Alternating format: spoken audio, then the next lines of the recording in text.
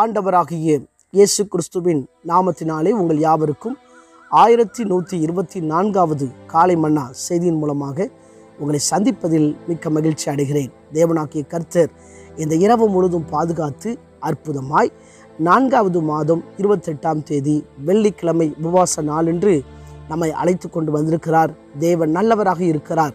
உங்களுடைய சபைகளிலே நடைபெறுகின்ற அந்த உபவாச ஜபத்துக்கு சென்று சபை மக்களோடு சேர்ந்து ஜெபியுங்கள். தேவன் பெரிய காரியங்களை செய்வாராக.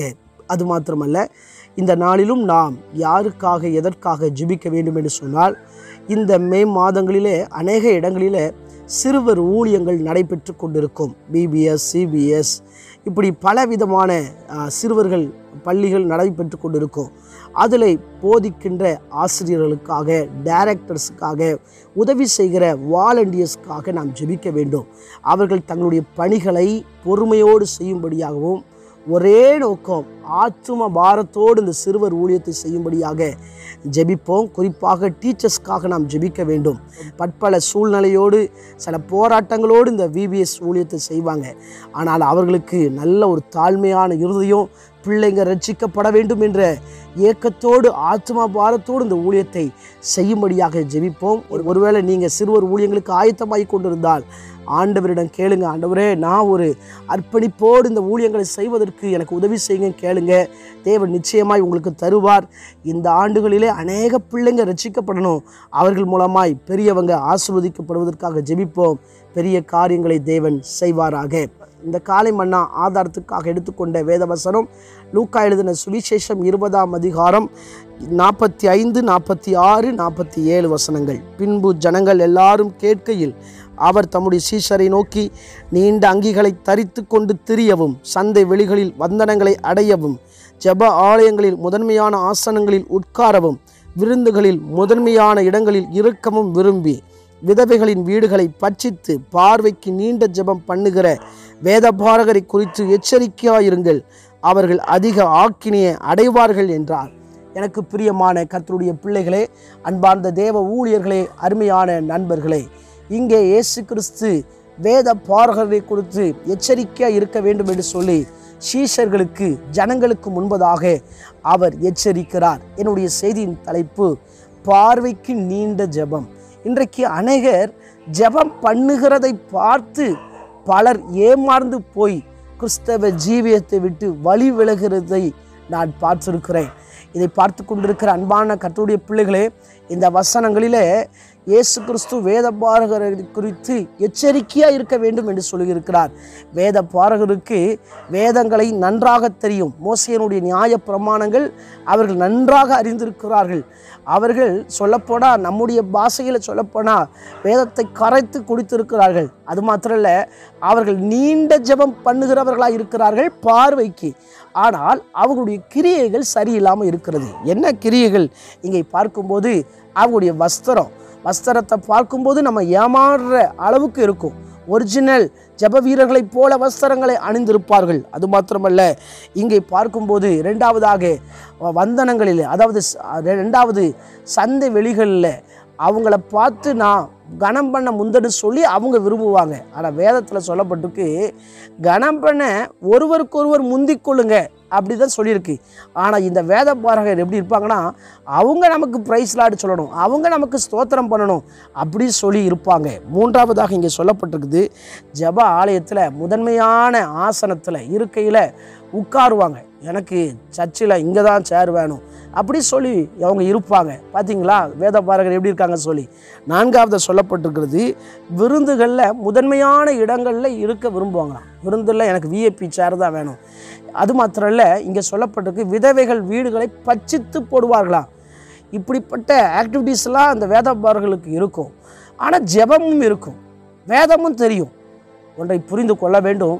இதை பார்த்து நாம் ஏமாந்து போய்விடக்கூடாது. ரொம்ப நேரம் மணிக்கணக்காக ஜெபம் பண்ணுறாங்க அப்படின்னு சொல்லிட்டு அவங்க கிரியை சரியில்லைன்னா அதில் ஒரு புரோஜனமும் இல்லை. ஒரு ஒரு நல்ல ஜெபிக்கிறவங்களை எடுத்துக்கொண்டால் அவங்களுடைய கிரியைகள் நல்லா இருக்கும். அவங்க கனிகளினால சோதிக்கலாம். ஒரு மரத்தை எப்படி கடிக்க முடியும்? ஒரு ம மரம் நல்லதாக கெட்ட கெட்டதான்னு சொல்லி எப்படி தெரியும் கேட்டால் அந்த மரத்தினுடைய கனியை வச்சு தான் அறிய முடியும். எனவே நம்முடைய வாழ்க்கையில் நம்முடைய கனிகள் சரியான கனிகளாக இருக்க வேண்டும். எனவே இப்படிப்பட்டவர்களை குறித்து தான் இயேசு எச்சரிக்கிறார் சீஷர்களை பார்த்து சொல்கிறார் கவனமாக இருக்கணும் அப்படிங்கிறார். இன்னைக்கு நீங்களும் நானும் ரொம்ப கவனமாக இருக்கணும். எனக்கு தெரிந்த ஒரு சபையில் ஒரு நல்ல ஒரு மூத்த விசுவாசி ஒருத்தர் இருந்தார். அங்கே ஒரு வாலிபன் ரசிக்கப்பட்டு இந்த சபைக்கு போனான். அதை இவர் கவனித்து கொண்டிருந்தார். சில நேரத்தில் சில மூத்த விசுவாசிகள் அவர்கள் அங்கே வேடிக்கை பார்ப்பாங்க. யார் சபைக்கு புதுசாக வந்திருக்கிறா? அடி பார்ப்பாங்க. அப்படி இந்த மூத்த விசுவாசி பூத கண்ணாடி போட்டு அடி பார்த்தார். இந்த வாலிபன் அவர் கண்களில் பிடிபட்டான். உடனே இவங்க ரெண்டு பேரும் நல்லா பேச வைக்க அப்படி இருந்தது. திடீர்னாப்புல நீங்கள் சண்டையை மட்டும் தானே சர்ச்சைக்கு வாரீங்க. நம்ம தனியாக கூட்டு ஜாம் பண்ணுமா? அப்படி சொல்லி இந்த வாலிபனை தனியாக அழைத்து கொண்டு போய் தனியாக ஒரு இடங்களில் ஜெபிக்க அவர் ஆரம்பித்தார் அப்படி கொஞ்ச நாள் ஜெபம் போய்கிட்டே இருந்துச்சு. ஒரு நாள் ஒரு குறிப்பிட்ட விசுவாசி இவங்க ரெண்டு பேர்த்த சந்திச்சிருக்கிறார்.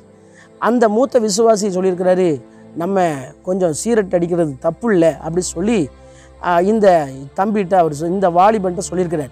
சொன்ன உடனே அந்த வாலிபனும் இவருக்கு வேதம் தெரியுது நல்ல ஜெபம் பண்ணுறான்னு சொல்லி ஏமாந்து இவர் விட்டு வந்த பாவத்தில் அந்த புகை புகைப்பிடிக்கிற பழக்கத்தில் இவரும் ஆரம்பித்தார் கொஞ்சம் கொஞ்சமாக கிறிஸ்துவை விட்டு விலக ஆரம்பித்தார் இது போதகருக்கு தெரிய வந்தது. போதகர் கூப்பிட்டு சத்தம் போட்டார். ஆனால் அவங்க கேட்குற பாடு இல்லை. காலப்போக்கில் பார்த்தீங்கன்னா இந்த பையனும் மறித்து போனார். இந்த மூத்த விசுவாசியும் இறந்து போனார். பார்த்தீங்களா நம்ம ஏமாந்துடக்கூடாது இது கடைசி காலமாக இருக்கிறது. தேவனுடைய வருகை சமீபமாகிட்டு அது ஆகவே தான் வேதம் சொல்கிறது மனுஷகுமாரன் வரும்போது விசுவாசத்தை காண்பாரோ? இதை பார்த்து கொண்டிருக்கிற அன்பான கத்தோடைய பிள்ளைகளே உங்களுடைய வாழ்க்கையில் விசுவாசம் எப்படி இருக்கிறது? நீங்கள் பார்வைக்கு நீண்ட ஜெபம் பண்ணுகிறவர்களை குறித்து ஏமாந்துடாதீங்க. ஆனால் உண்மையாக ஜெபம் பண்ணுறவங்களும் இருக்கிறாங்க. ஆனால் உண்மையாக ஜெபம் பண்ணுறவங்க எப்படின்னா இந்த மாதிரி கேரக்டர் அவங்களுக்கு இருக்கிறார். அவங்க கனம் பண்ண முந்துவாங்க. ஒரு கூட்டத்துலையா எங்கே கீழே உட்காரனாலும் அவங்க தாராளமாக உட்காந்துக்கிடுவாங்க எல்லாவற்றிலும் மனரம்யமாக இருப்பாங்க. இப்படிப்பட்டவங்கள் தான் உண்மையாக ஜெபம் பண்ணுறவங்களா இருக்கிறாங்க. எனவே இன்றைக்கு இப்படிப்பட்ட வேத பாரகர்களைப் போன்ற இருக்கின்ற மக்களோடு விசுவாசிகளோடு ஐக்கியம் இருக்கும் என்று சொன்னார். அவர்களை குறித்து எச்சரிக்கையாக இருங்க. அப்படிப்பட்டவங்களோடு இருப்பீங்கன்னா இன்றைக்கு அந்த ஐக்கியத்தை விட்டு வெளியே வாங்க. கர்த்தர் உண்மையாக உங்களை பயன்படுத்துவார். நாம் கண்களை மூடி ஜெபிப்போமா? எங்களை நேசிக்கிற சர்வ வல்லமுள்ள தேவனை இந்த வேலைக்காக ஜெபிக்கிறேன். கேட்ட சத்தியத்தின்படி நாங்கள் ஆண்டவரே பார்வைக்கு நீண்ட ஜெபம் பண்ணுகிறவர்களை குறித்து ஏமாந்து விடாதபடி ஆண்டவர் ஸ்தோத்திரம். ஆண்டவர் தொடர்ந்து எங்களுடைய ஜீ ஜப ஜீவியத்தை தக்க வைத்து கொள்ள எல்லா சூழலிலும் கனிகளை வைத்து அறிந்து கொள்ள ஆண்டவர் எங்களுக்கு உதவி செய்கிறார் ஜெபிக்கிறேன். ஆண்டவரை கர்ப்ப கால ஸ்திரீகளுக்காக ஜெபிக்கிறேன். குழந்தைக்கு வேண்டிய வளர்ச்சி ஏற்றவெள்ள சுகப்பிரசவத்தை கட்டளிடுவீராக பிறந்த நாள் திருமண நாளை நினைவு கூறுகிற ஒவ்வொருவரை கத்தர் ஆசிர்வதிப்பீராக. உன் வலதுகையை பிடித்து பயப்படாதே நான் உனக்கு துணை நிற்கிறேன் என்ற வசனத்தின்படி இந்த ஆண்டு முழுவதும் வலதுகையை பிடித்து துணை நிற்பீராக என்று சொல்லிக்கிறேன் பிரயாணப்படுகிற ஒவ்வொருடைய பிரயாணத்தை ஆசீர்வதிங்க. தொடர்ந்து ஆண்டவர் ஸ்தோத்திரம். இவ யாராவது பலவீனத்தோடு இருப்பார்கள் என்று சொன்னால் எல்லா பலவீனங்கள் மாறட்டும் என்று ஜெபிக்கிறேன். இந்த நாளிலே எதற்கெல்லாம் ஜெபித்துக் கொண்டிருக்கிறார்களோ அதிலே ஒரு அற்புதங்கள் நடப்பதாக என்று ஜெபிக்கிறேன். பெரிய காரியங்களை செய்வீராக. இயேசுவின் மூல ஜபங்களும் ஜீவன் நல்ல பிதாவே ஆமே என் ஆத்மாவே கத்தரை ஸ்தோத்திரி. என் முழுவலமே அவருடைய பரிசுத்த நாமத்தை ஸ்தோத்திரி. என் ஆத்மாவே கத்தரை ஸ்தோத்திரி. கத்த செய்த சகல உபகாரங்களை மறுவாதே ஆமே ஆண்டு சித்தமானால் மீண்டும் நாளை காலை புதிய காலை மன்னாடு செய்தியின் மூலமாக சந்திக்கிறேன். அதுவரை தேவக்கருமை தாங்குவதாக மாரநாதா இயேசு வருகிறார். ஆயத்தமாவோம் அனைவரை ஆயத்தப்படுத்துவோம். ஆமேன் அலையலுயா பிரைஸ்தலான் படுகிறேன் மாறும்